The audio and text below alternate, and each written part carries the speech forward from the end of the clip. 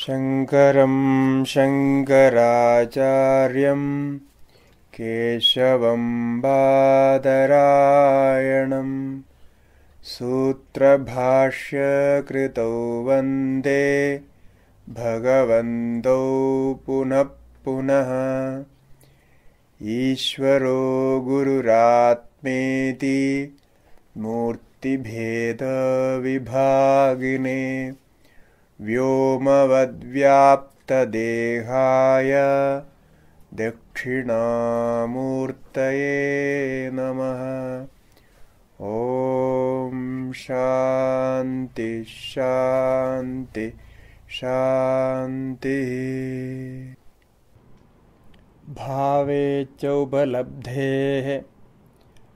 भावे च उपलब्धेः। इतश्च कारणात् अनन्यत्वं कार्यस्य।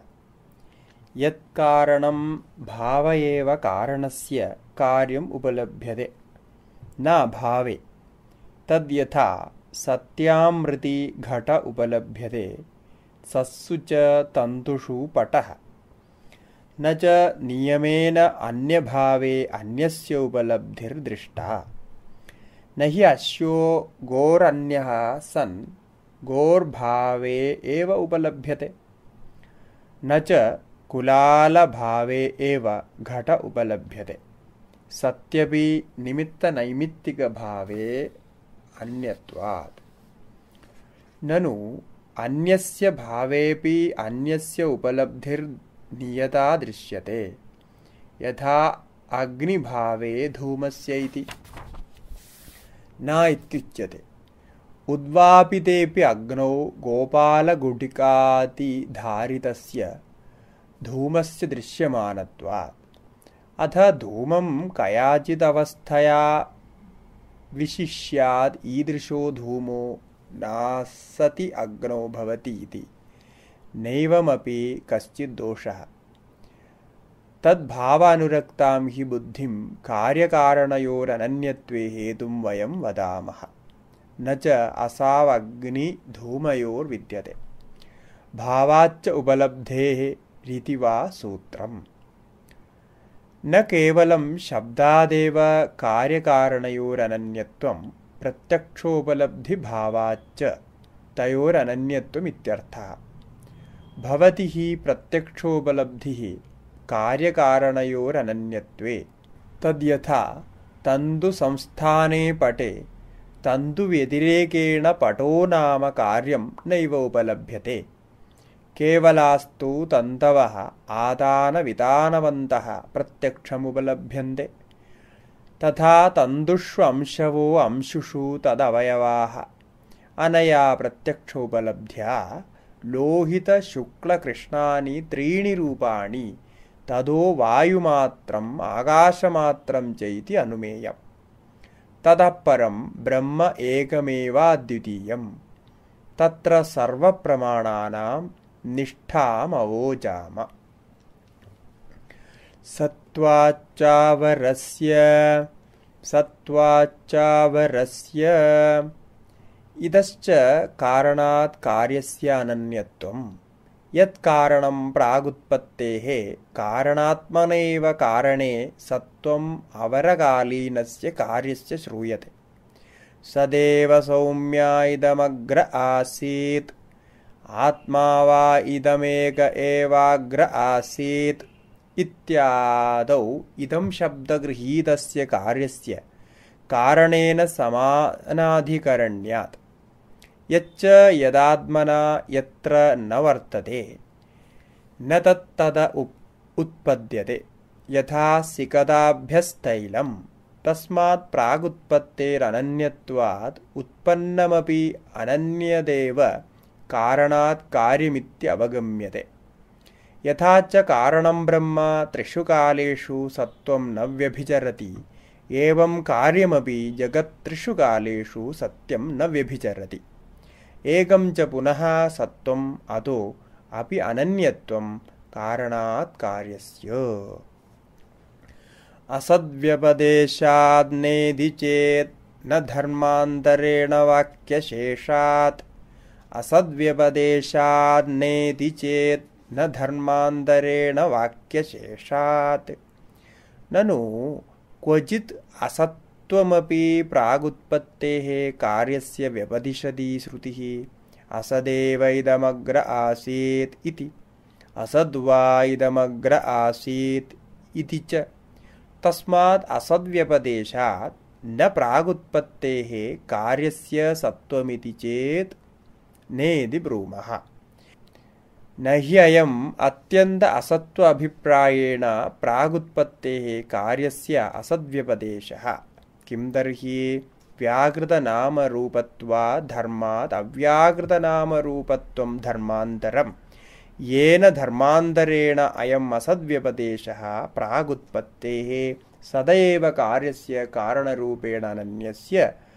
कथमेतदवगम्यते वाक्यशेषात्। यदुपक्रमे सन्दिग्धार्थं वाक्यं तच्छेषात् निश्चीयते। इह च तावत्। असदेव इदमग्र आसीत् इत्यसच्छब्देन उपक्रमे निर्दिष्टं यत्तदेव पुनस्तच्छब्देन परामृश्यत सदिति विशिनष्टि। तत्सदासीत् इति। असदश्च पूर्वापरकालासम्बन्धात् आसीच्छब्दानुपपत्तेश्च। असद्वा इदमग्र आसीत् इत्यत्रापि। तदात्मानं स्वयमकुरुत इति वाक् वाक्यशेषे विशेषणात् न अत्यन्तासत्त्वम् तस्मात् धर्मान्तरेणेवायम् असद्व्यपदेशः प्रागुत्पत्तेः कार्यस्य। नामरूपव्याकृतं हि वस्तु सच्छब्दार्हं लोके प्रसिद्धम्। अतः प्राङ्नामरूपव्याकरणात् असदिव आसीदित्युपचर्यते। युक्तेः शब्दान्तराच्च युक्तेः शब्दान्तराच्च। युक्तेश्च प्रागुत्पत्तेः कार्यस्य सत्त्वम् अनन्यत्वं च कारणादवगम्यते शब्दान्तराच्च। युक्तिस्तावद्वर्ण्यते दधिघटरुचकादि अर्थिभिः प्रतिनियतानि कारणानि क्षीरमृत्तिका सुवर्णादीनि उपादीयमानानि लोके दृश्यन्ते न हि दध्यर्थिभिः मृत्तिका उपादीयते, न घटार्थिभिः क्षीरम्। तदसत्कार्यवादे न उपपद्येत।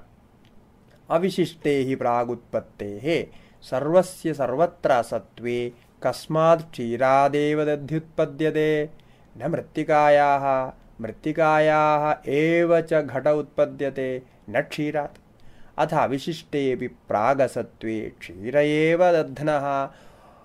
कश्चिदतिशयो न मृत्तिकायां मृत्तिकायामेव च घटस्य कश्चिदतिशयो न क्षीरे इत्युच्यते। तर्हि अतिशयवत्वात् प्रागवस्थायाः असत्कार्यवादः निः सत्कार्यवादसिद्धिश्च। शक्तिश्च कारणस्य कार्यनियमार्था कल्प्यमाना नान्या असती वा कार्यं नियच्छेत् असत्त्वविशेषात् अन्यत्वविशेषाच्च। तस्मात् कारणस्यात्मभूता शक्तिः शक्तेश्च आत्मभूतं कार्यम्। अपि च कार्यकारणयोर्द्रव्यगुणादीनां च अश्वमहिषवत् भेदबुद्ध्यभावात् तादात्म्यम् अभ्युपगन्तव्यम्। समवायकल्पनायामपि समवायस्य समवायिभिः सम्बन्धे अभ्युपगम्यमाने तस्य तस्य अन्यो अन्यः सम्बन्धः कल्पयितव्यः इति अनवस्थाप्रसङ्गः अनभ्युपगम्यमाने च विच्छेदप्रसङ्गः। अथ समवायः स्वयं सम्बन्धरूपत्वात् अनपेक्ष्यैव अपरं सम्बन्धं सम्बध्यते संयोगोऽपि तर्हि स्वयं सम्बन्धरूपत्वात् अनपेक्ष्यैव समवायं सम्बध्येत तादात्म्यप्रतीतेश्च द्रव्यगुणादीनां समवायकल्पनानर्थक्यम् कथं च कार्यम् अवयवीद्रव्यं कारणेषु अवयवद्रव्येषु वर्तमानं वर्तते किं समस्तेषु अवयवेषु वर्तेत उत प्रत्यवयवं यदि तावत् समस्तेषु वर्तेत तदो अवयवि अनुपलब्धिः प्रसज्येत समस्त अवयवसन्निकर्षस्य अशक्यत्वात्। न हि बहुत्वं समस्तेषु आश्रयेषु वर्तमानं व्यस्त आश्रयग्रहणेन गृह्यते। अथ अवयवशः समस्तेषु वर्तेत तदापि आरम्भक अवयवव्यतिरेकेण अवयविनो अवयवाः कल्प्येरन् यैरारम्भकेषु अवयवेषु अवयवशो अवयवी वर्तेत कोश अवयवव्यतिरिक्तैर्हि अवयवैरसिः कोशं व्याप्नोति। अनवस्था च एवं प्रसज्येत। तेषु तेषु अवयवेषु वर्तयितुम् अन्येषाम् अन्येषाम् अवयवानां कल्पनीयत्वात्। अथ प्रत्यवयवं वर्तेत। तदेकत्र व्यापारे अन्यत्र अव्यापारः स्यात्। न हि देवदत्तः सृघ्ने सन्निधीयमानस्तदहरेव पाटलीपुत्रेऽपि सन्निधीयते। युगपदनेकत्र वृत्तौ अनेकत्वप्रसङ्गः स्यात्। देवदत्तयज्ञदत्तयोरिव सृघ्नपाटलीपुत्रनिवासिनोः गोत्वादिवत् प्रत्येकं परिसमाप्तेर्न दोषः इति चेत् न तथा प्रतीत्यभावात्। यदि गोत्वादिवत् प्रत्येकं परिसमाप्तो अवयवी स्यात्, यथा गोत्वं प्रतिव्यक्ति प्रत्यक्षं गृह्यत, एवम् अवयव्यपि प्रत्यवयवं प्रत्यक्षं गृह्येत, न च एवं नियतं गृह्यते। प्रत्येकपरिसमाप्तौ च अवयविनः कार्येण अधिकारात्, तस्य च एकत्वाच्छृङ्केणापि स्तनकार्यं कुर्यात् उरसा च पृष्ठकार्यं। न च एवं दृश्यते। प्रागुत्पत्तेश्च कार्यस्य असत्त्वे उत्पत्तिरकर्तृका निरात्मिका च स्यात्। उत्पत्तिश्च नाम क्रिया। सा सकर्तृकेव भवितुमर्हति। गत्यादिवत्। क्रिया च नाम स्यादकर्तृका च इति विप्रतिषिध्येत। घटस्य च उत्पत्तिरुच्यमाना न घटकर्तृका किं तर्हि अन्यकर्तृकेति कल्प्या स्यात्। तथा कपालादीनामपि उत्पत्तिरुच्यमाना अन्यकर्तृके एव कल्प्येत। तथा च सति घट उत्पद्यत इत्युक्ते कुलालादीनि कारणानि उत्पद्यन्त इत्युक्तं स्यात्। न च लोके घटोत्पत्तिरित्युक्ते कुलालादीनामपि उत्पद्यमानता प्रतीयते। उत्पन्नता प्रतीतेश्च अथ स्वकारणासत्तासम्बन्धः एव उत्पत्तिरात्मलाभश्च कार्यस्य इति चेत् कथम् अलब्धात्मकं सम्बध्येत इति वक्तव्यम्। सतोर्हि द्वयोः सम्बन्धः सम्भवति। न सदसतोरसतोर्वा अभावस्य च निरुपाख्यत्वात् प्रागुत्पत्तेरिति मर्यादाकरणमनुपपन्नम् सदां हि लोके क्षेत्रगृहादीनां मर्यादा दृष्टा। न अभावस्य। न हि वन्ध्यापुत्रो राजा बभूव प्राक् पूर्ववर्मणो अभिषेकादित्येवं जातीयकेन मर्यादाकरणेन निरुपाख्यो वन्ध्यापुत्रो राजा बभूव भवति भविष्यतीति वा विशेष्यते। यदि च वन्ध्यापुत्रोऽपि कारकव्यापारादूर्ध्वम् अभविष्यत् तद इदमपि उपापत्स्यत। कार्याभावोऽपि कारकव्यापारादूर्ध्वं भविष्यतीति।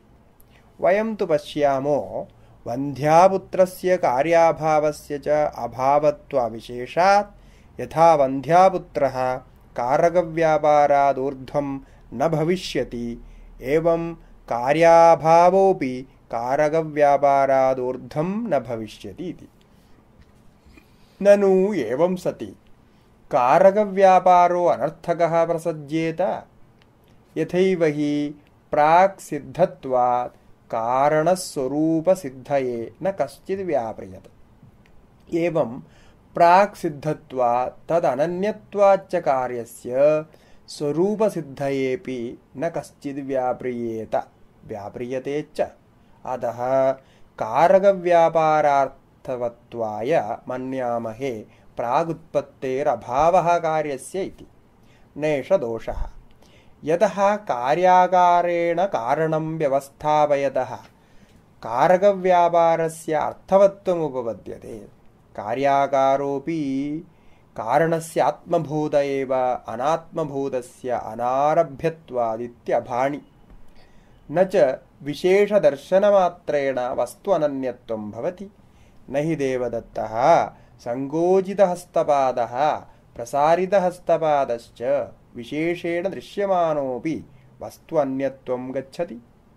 स एव इति प्रत्यभिज्ञानात् तथा प्रतिदिनम् अनेकसंस्थानानामपि पित्रादीनां न वस्तु अनन्यत्वं भवति। मम पिता मम भ्राता मम पुत्र इति प्रत्यभिज्ञानात्। जन्मोच्छेद अनन्तरितत्वात् तत्र। युक्तं न अन्यत्र इति चेत् न। क्षीरादीनामपि दध्यादि आकारसंस्थानस्य प्रत्यक्षत्वात्। अदृश्यमानानामपि घटधानादीनां समानजातीय अवयवान्तर उपचितानाम् अङ्कुरादिभावेन दर्शनगोचरतापत्तौ जन्मसंज्ञा। तेषामेव अवयवानाम् अपचयवशात् अदर्शनापत्तौ उच्छेदसंज्ञा। तत्र ईदृक्जन्म उच्छेदान्तरितत्वात् चेद् असतः सत्त्वापत्तिः सतश्च असत्त्वापत्तिः तथा सति गर्भवासिना उत्तानशायिनस्य भेदप्रसङ्गः। तथा च बाल्ययौवनस्थाविरेष्वपि भेदप्रसङ्गः। पित्रादिव्यवहारलोपप्रसङ्गश्च एतेन क्षणभङ्गवातः प्रतिवदितव्यः। यस्य पुनः प्रागुत्पत्तेरसत्कार्यं तस्य निर्विषयः कारकव्यापारः स्यात्। अभावस्य विषयत्वानुपत्तेराकाश हननप्रयोजनखड्गाति अनेक आयुधप्रयुक्तिवत् समवायिकारणविषयः कारकव्यापारः स्यादिति चेत् न। अन्यविषयेण कारकव्यापारेण अन्यनिष्पत्तेरतिप्रसङ्गात् समवायिकारणस्येव आत्मादिशयः कार्यमिति चेत् न। सत्कार्यतापत्तेः।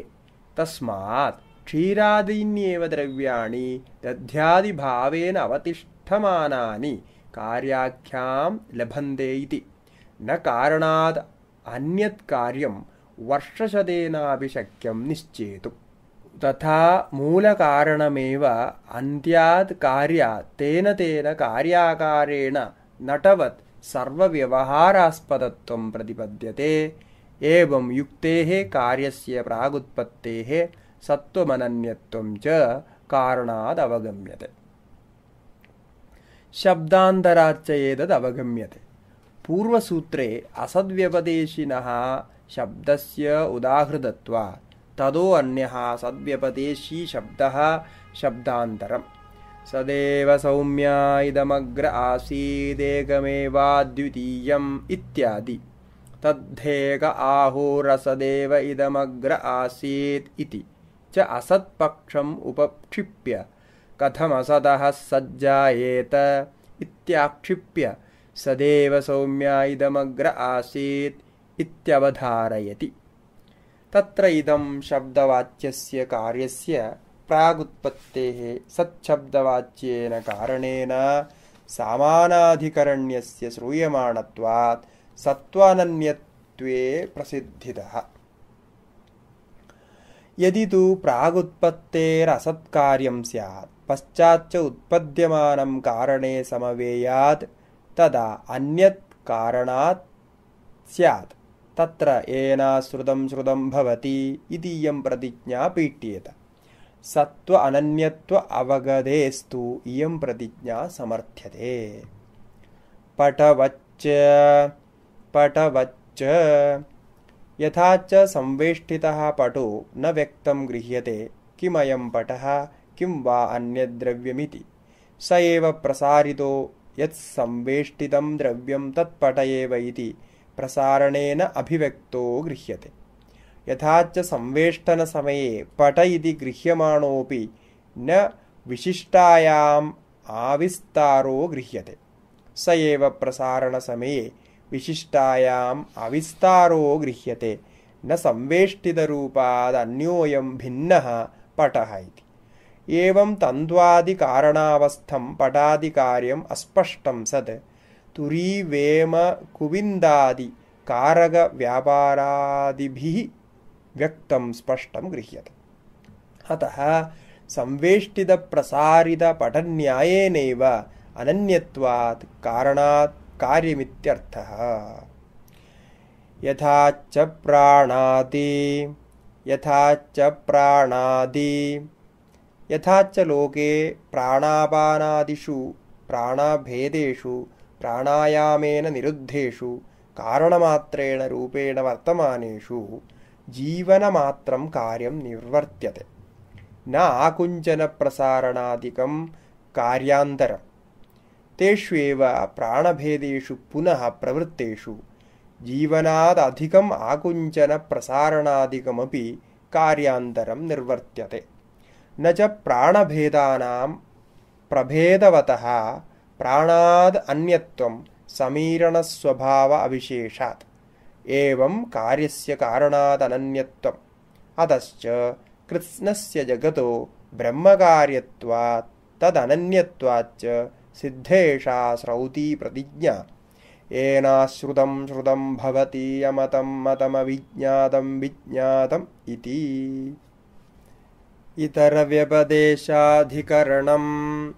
इतरव्यपदेशाधिदाकरणादिदोषप्रसक्तिः। इतरव्यपदेशाधिदाकरणादिदोषप्रसक्तिः।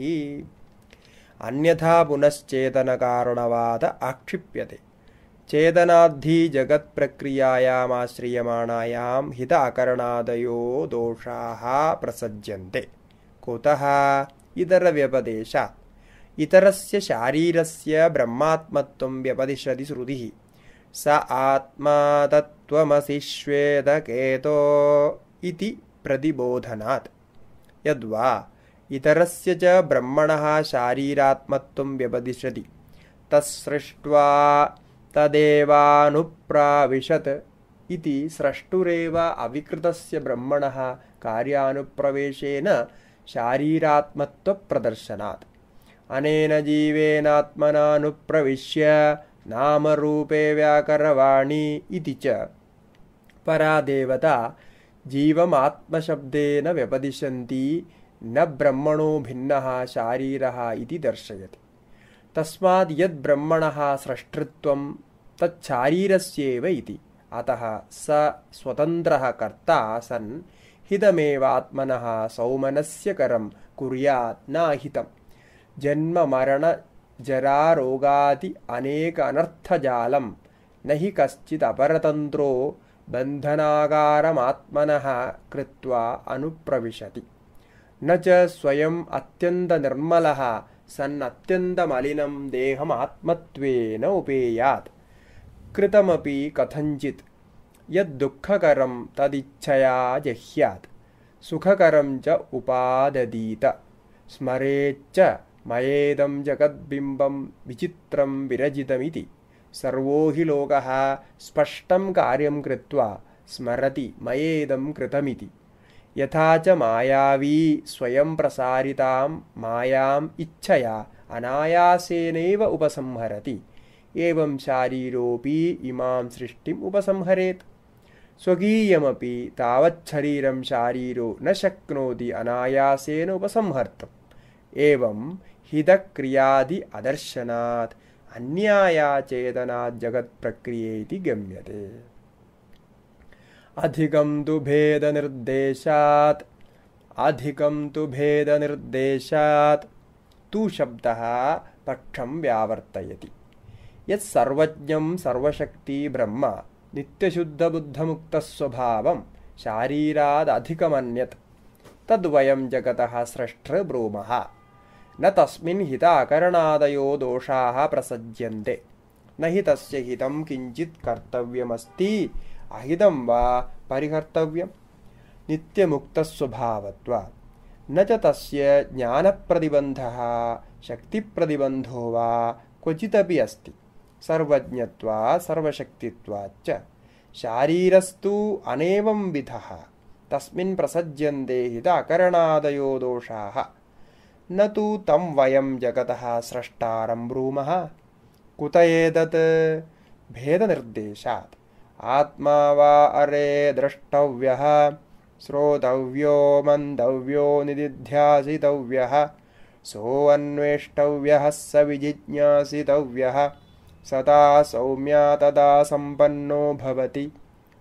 शारीर आत्मा प्राज्ञेनात्मनान्वारूढः इत्येवं जातीयकः कर्तृकर्मादिभेदनिर्देशो जीवादधिकं ब्रह्म दर्शयति।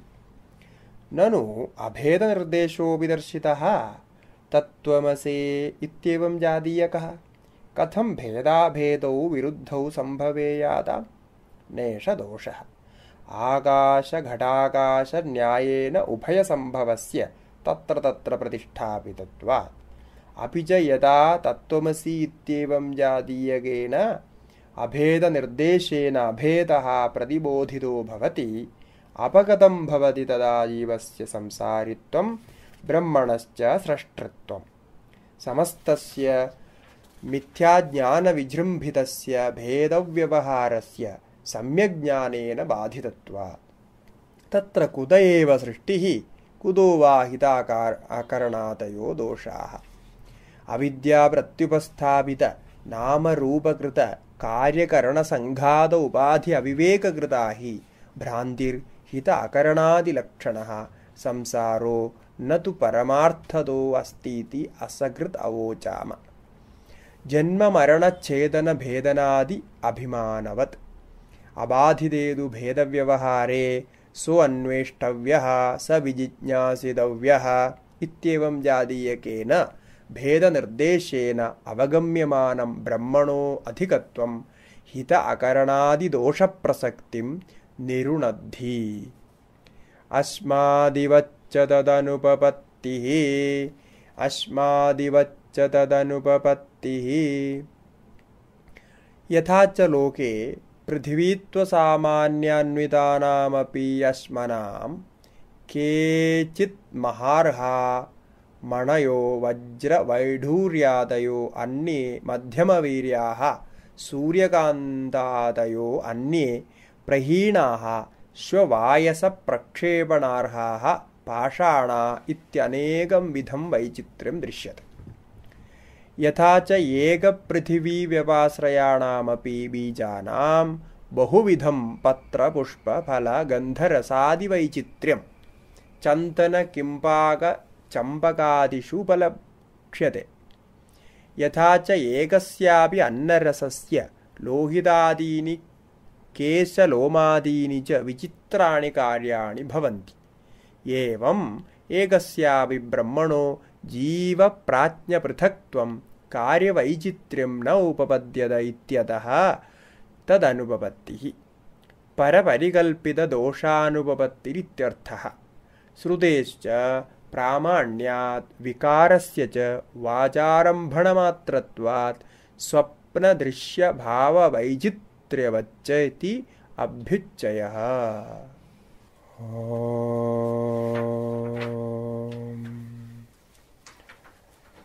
शङ्करं शङ्कराचार्यं केशवं बादरायणं सूत्रभाष्यकृतौ वन्दे भगवन्तौ पुनः पुनः।